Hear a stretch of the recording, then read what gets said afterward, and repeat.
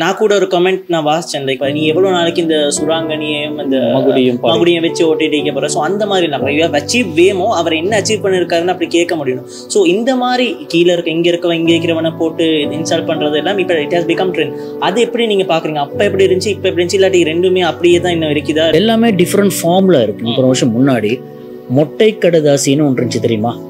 வீட்டுக்கு மொட்டை கடுதாசி எழுதுவாங்க. இப்போ ஒருத்தன் ஒரு பொண்ணு வந்து ஒரு பையனை காதலிச்சிட்டாங்க அந்த டைம்ல அது அது பெரிய டேபு அப்போ. அப்படி பண்ணிட்டாங்கன்னா அந்த வீட்டு வந்து வீடு என்ன பண்ண ப்ரொடெக்ட் பண்ணி மானமே போக அந்த பொண்ணை கூட்டிட்டு வந்து எப்படியாச்சும் கல்யாணம் பண்ணி வைக்கலாம்னு பார்ப்போம். இந்த சுத்து முட்டை இருக்கிற ஆளுங்க என்ன பண்ணுவாங்க? அந்த மாப்பிள்ளை வீட்டுக்கு இது ஒரு உதாரணம் தான் சொல்றேன். இது மாதிரி நிறைய இருக்கு.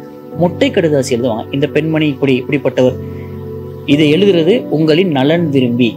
நலன் விரும்பி. கொள்றது. அதாவது காட்டி கொள்றதுல கொடுக்கறது.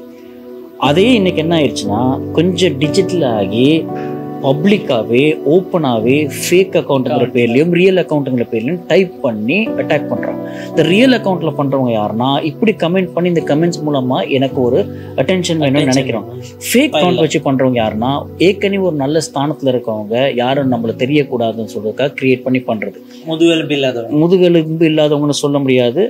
முதுகெலும்பு நல்லா இருக்கு ஆனா பாவிக்கு தெரியல.